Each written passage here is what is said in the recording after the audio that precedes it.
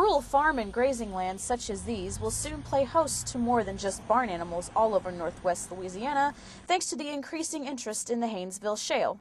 Shell Oil affiliate SWEPI will pay NSU an initial $4.4 million to drill for natural gas on land in DeSoto Parish that is owned by the university.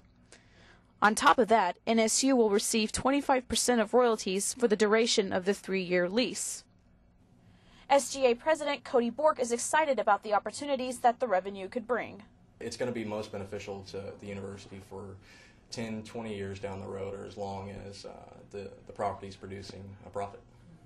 Most of the revenue earned will go toward attracting students to NSU, according to Vice President of University Affairs, Dr. Marcus Jones. The, the scholarships we, will be used more, I think, as a recruitment tool to, uh, to recruit uh, uh really, really good students to Northwestern. The story of NSU acquiring the land is actually quite intriguing because a pecan farmer willed the land to the university in the 70s. This pecan farmer who had just had a little bit of affiliation for the university back in the 70s, and uh, a retired professor um, helped him out uh, with his with his farming practices. And you know, he donated this land after he died, and it was a significant amount of land. It's amazing what kindness and generosity can do to, in this case, to help transform a university. For NSU 22 News, I am Richelle Stephens.